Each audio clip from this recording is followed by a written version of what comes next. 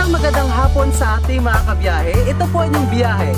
Biyahe ni Pedro 2018.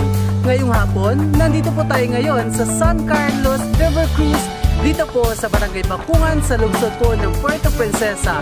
At ngayon, papasukin po natin ang loob upang makita ang kailang pinagmamalaking river cruise dito po sa kanilang lugar. Ito po ang inyong biyahe, biyahe ni Pedro.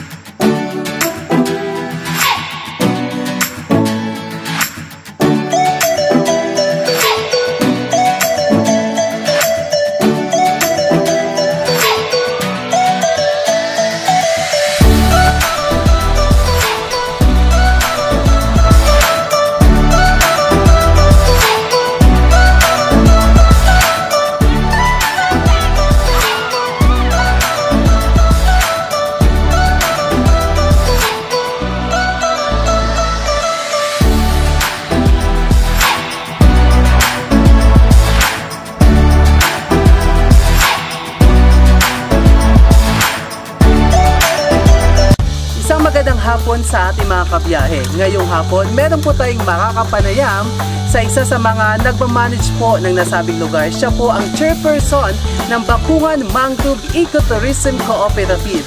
Siya po si Naisol. Ayan, Naisol, magandang hapon po. Magandang hapon din po. Ayan, yan, Naisol, ayan. Naisol, alam po natin ang San Carlos, ah, San Carlos River Cruise ay matagal na tama po ba? Opo. Ah, paano po ba siya nagsimula? Ah, nagsimula po yung aming ah, river cruise since 2008 sa pamamagitan po pa ni Doc Jerry Ortega. Wow! Siya po yung nakatuklas ng aming area. Wow. Maganda siya gawing eco park. Wow, amazing! Sa mga gusto pong pumunta po dito, sa lugar po na ito, ah, ito po ang contact number ni Naisol. 0909-9341184. Again, 0909-9341184. Contact na mga friends at experience nyo na ang napakagandang ecotourism ng ating lungsod. Ito ang San Carlos River Cruise at Puerto Princesa Sea, Palawan. Thank you, Naisol. You're welcome, sir. Thank you po. Isang oras po ba to? Ah, almost one hour. Ibig sabihin, napakasulit po yung 200, no? Kung saan po sila, mga 2,000 ang po kuya. Ayan, kuya, baka gusto nyo i-invite yung mga kababayan po natin, mga kapwa Pilipino sa buong bansa. Invite nyo po na pumunta po dito. Pumunta po kayo dito sa San Carlos River Cruise. Mhm. Train po kami uh, alas 9 ng umaga hanggang alas 6 ng gabi.